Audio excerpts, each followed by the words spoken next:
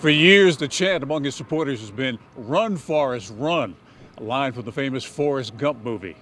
Now, the lieutenant governor is one step closer to running for a job that political observers say he's had his eye on for years. Why would you be the best choice? I think we've done the work on the front end that has already proven, at least to our base from a primary perspective, that uh, we're going to be there and we're, we are fit to lead in the governor's office. For now, the only Republican publicly talking about the GOP nomination is former Governor Pat McCrory, who remains undecided on his political future. What would be the difference between the two of you? A key difference that you would tell your average voter doesn't pay attention to the details, but they will pay attention. I've, I've heard of McCrory, I've heard of the Lieutenant Governor. I have a rough idea. What would be the difference maker in your mind that uh, a voter, a Republican in the primary, would choose you over McCrory? Well, I wouldn't draw the difference, quite honestly. I mean, we will run on the issues that are important to us. Uh, I think that's up to the people and the media maybe to draw the differences. I'm not running against Pat McCrory. I'm really not running against Roy Cooper. I mean, obviously, physically you would be, but um, the reality is we're running for an office. We're going to put forward a vision and ideas that we think are best for North Carolina and let the people decide. Is there something that Governor Cooper is doing or has done that you would oppose?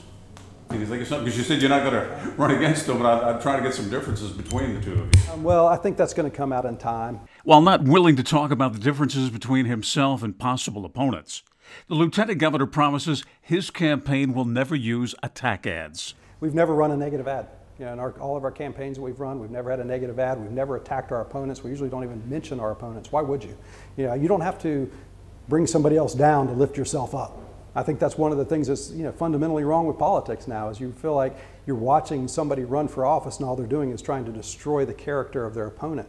And uh, I, I, fully believe that my character is going to be destroyed in, in, this race, so don't get me wrong. That's just not our MO. That's not how we operate. This is how we build a better North Carolina. In a brief video message narrated by Dan Forest, the Lieutenant Governor talks about the divisiveness that dominates American society and politics when our culture values division over unity, when our society sees us as groups and not individuals, and pits those groups against one another, when incivility replaces common decency, it's time to change.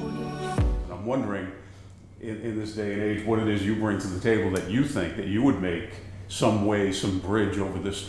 What Americans are craving now, what North Carolinians are craving, is for us to get past that divisive, uh, you know, political identity types of politics that you've seen so much of, where everything's about character assassination. Unless you destroy your opponent, you can't win. And I just don't believe that. I've never believed that. Do you think, though, there's, there's a single issue that you could even suggest right now that you could bring the two sides together? Give us one. Um, I don't think there's an issue we couldn't bring people together. I, I think that there's there's plenty of issues that we could, uh, whatever issue happens to be on the table at the time, I think we could sit down and have a reasonable discussion. Dan Forest is very popular among conservative Christian voters. We asked him about social issues such as same sex marriage and HB 2, the former bathroom bill.